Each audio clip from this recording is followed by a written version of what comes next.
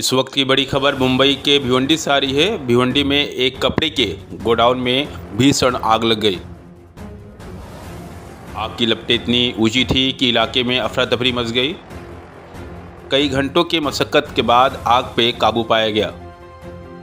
वहीं आग में लाखों का माल जलकर खाक हो गया।